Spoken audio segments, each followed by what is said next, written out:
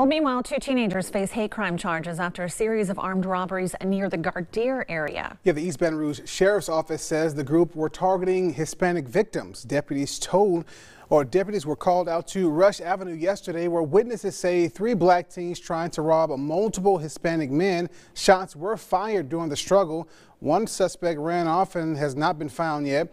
Deputies, uh, deputies have arrested a 17-year-old and a 16-year-old, both facing several charges, including seven counts each of attempted first-degree murder and committing a hate crime. They say more charges are pending.